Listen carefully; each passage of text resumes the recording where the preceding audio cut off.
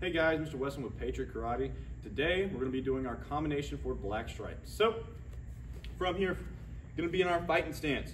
We're going to be stepping back and doing our defensive side kick. Think of defensive as front leg. So we're stepping back, feeding them a side kick, and then after our side kick, we're following up with a spinning swing kick.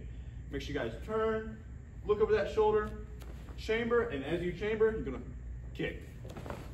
Just like that. One more time. In my fighting stance, I step back, defensive side kick, spinning swing kick. Nice and fast now. Aya!